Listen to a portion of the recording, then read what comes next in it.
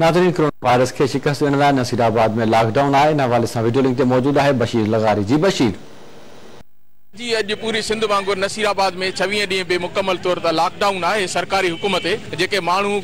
गुज़िरियल हिकु महीने खां वठी जेके घरनि ते मासूर हुया उहे ॿाहिरि निकिरी आया दर्जी जेके आहिनि अॼु जुलूस कढी ॿाहिरि निकिरी आया अचो त उन्हनि पुछा कयूं त उन्हनि जो छा ख़ुदा त थी कयो अलाह खे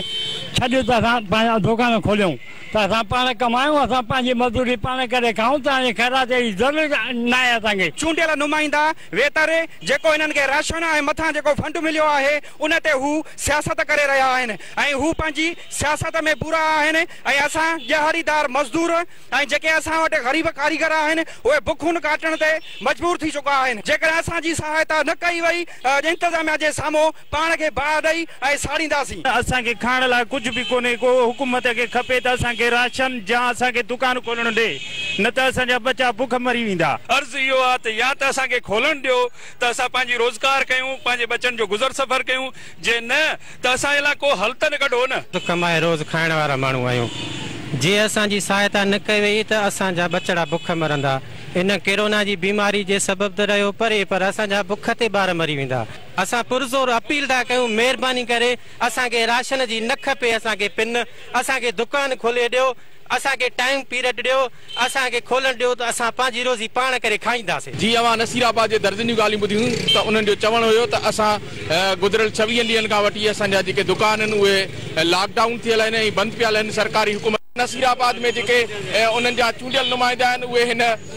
राशन से भी सियासत था पा कन ऐं हिननि ग़रीब माण्हुनि ताईं उहो राशन नथो पहुचे